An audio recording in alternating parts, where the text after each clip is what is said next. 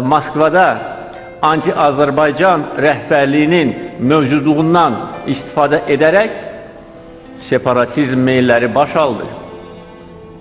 Ondan əvvəl nə etdilər? Onlar ondan əvvəl hazırlıq işləri görüldü. Və əsas hazırlıq, hazırlıq işlərinin hədəfində Heydər Əliyev dayanmışdı.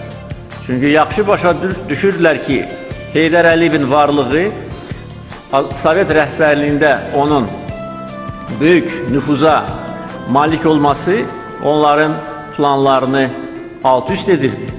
Ona görə Ermənistandan, digər yerlərdən əfsuslar olsun ki, milli satqınlar Azərbaycandan kütləvi sürətdə anonim məktublar Moskvaya göndərirdilər və şərböhtən kampaniyası aparılırdı.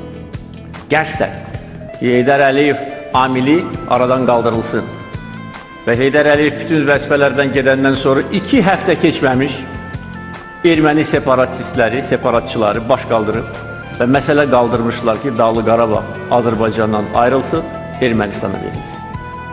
Və bizim xalqımızın bəlaları o gündən başladı. Azərbaycanın da bəlası oradan başladı ki, 87-ci ildə ermənilər yığışdılar. Bizim bəzi bədxax Azərbaycanlılarla benim Kremlin'den istifa vermeme nail oldular.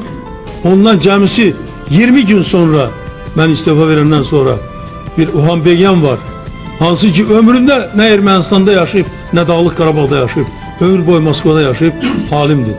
Geldi Fransa'da beyanat verdi ki Dağlık Karabağ Ermenistan'a bağlanmalıdır ve bunu o Gorbaçov'la razılaştırıptı. Ondan da iki ay sonra Dağlık Karabağ'da bu isyan başladı.